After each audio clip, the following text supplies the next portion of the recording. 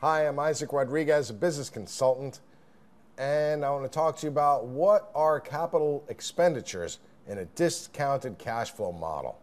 Well, capital expenditures expenditures are the things that a company needs to spend money on, which would be equipment. Would be one of the capital expenditures that would need to be taken into consideration in a discounted cash flow analysis or DCF. So, if you have a company, let's say that made clothing, and every year they need to spend $5 million a year in equipment, then that is the capital expenditure that needs to be taken into consideration when you do your discounted cash flow analysis, or DCF.